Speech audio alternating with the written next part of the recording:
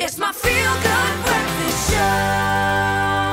Welcome back, welcome back. It is your feel good breakfast show. Uh, medical chats with Dr. Darren Green, and we're talking about stimulants, all of those things that give you the boost, the energy. Energy drinks, we spoke about caffeine. I wanted to ask the question is it a dangerous thing to take energy drinks and combine them with alcohol, as is the regular practice out there in the nightlife?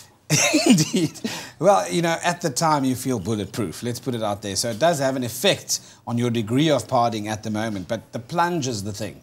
So what happens is your sugar levels plummet uh, Mm-hmm. quite significantly after combining the two.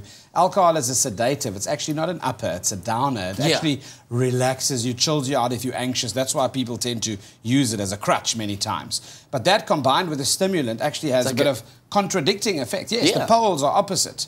So you can imagine then what might happen is you, your mood can become labile afterwards. You can have cardiac dysrhythmias that Oh, my develop. goodness. Uh, and that makes you feel almost as if you've, you've lost control, but you're also anxious at the same time. My word. So you've got to look at, Be at moderation and, you know, calculate those risks. All right, let's take a live call right now. Shuaib on the line. Good morning.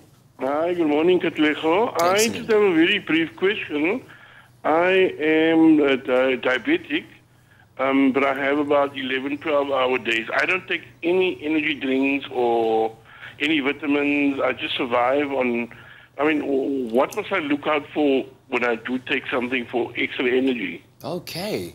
Good. So, I mean, he's diabetic, so the big thing is sugar control. Yes. So he's got to look specifically, if he does take an energy drink with a supplement in it, got to consider, for example, the amount of sugar in it. So sugar-free, certainly you do get sugar-free uh, energy supplements out there. And then also look at the amount and the time that you're taking it. It's no use taking the energy drinks if you're having a 10 or 12 hour day and you take it at 3 in the afternoon to help you for two hours until 5 o'clock. And then you can't sleep that night.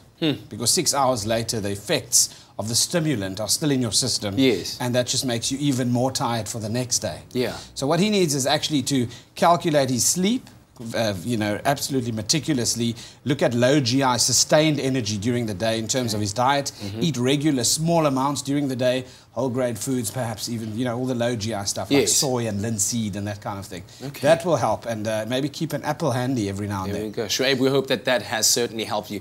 Ephedrine, what is that? Ephedrine is an adrenaline compound, so it looks, this, the molecule is the same as adrenaline. It works on the adrenal receptors in the body, and that's, uh, you know, what you have when you're in fight or flight mode. When you need to escape from a lion entering the room or someone threatening you with a knife, for example.